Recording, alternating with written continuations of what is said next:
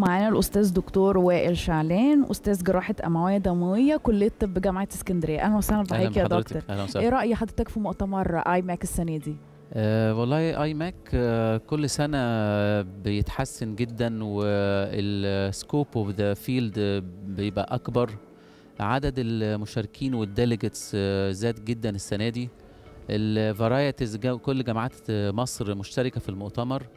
الحاجة اللي برضو impressive قوي في المؤتمر إن أنا شايف آه، دول كتيرة جدا من دول العالم موجودة. ال experts عددهم كبير جدا آه، يعني approaching 100 آه، آه، international speakers وكلهم experienced في ال field بتاع ال aortic surgery السنة دي برضو الجديد إن آه، القائمين على المؤتمر مش بس ركزوا على ت- تمدد والشريان الأورطة لا دخلوا كمان أجزاء من انسدادات الشريان الأورطة.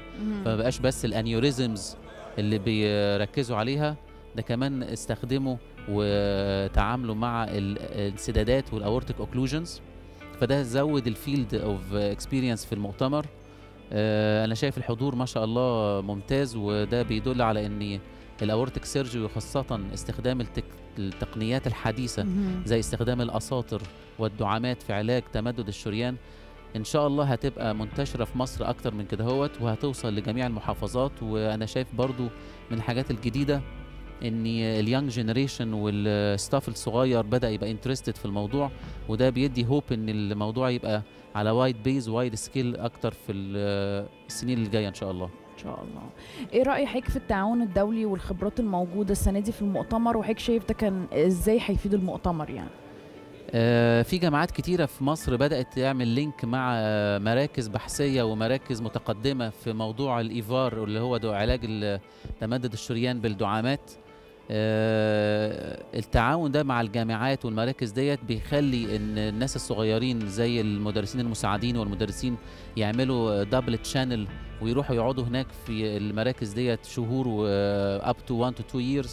وده بيخ... بيزود الخبرة بتاعتهم ودي بتتنقل لنا. يعني إحنا من الناس الكتير قوي اللي شايفينها في المؤتمر مصريين وبيشتغلوا في UK وبيشتغلوا في United States بيشتغلوا في آه، فرنسا.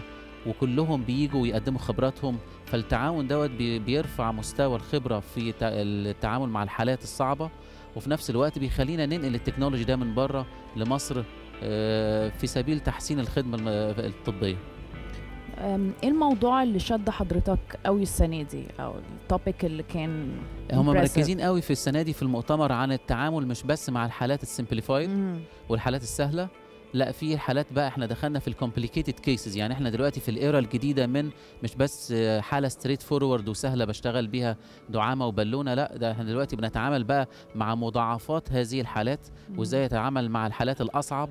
الأجهزة الجديدة اللي طلعت دلوقتي انت عارفة ال technology دي دايما evolving. يعني كل شوية بيحسنوا آه، استخدام الدعامات. والشركات الأدوية وشركات الدعامات بتحسن من الجهاز نفسه بحيث إن إحنا نتعامل مش بس مع الحالات السهلة لأ كمان الحالات الصعبة اللي هي بتتطلب technology أعلى تمام في نهاية اللقاء بشكر حضرتك يا دكتور. وميرسي جدا على وقت شكراً. حضرتك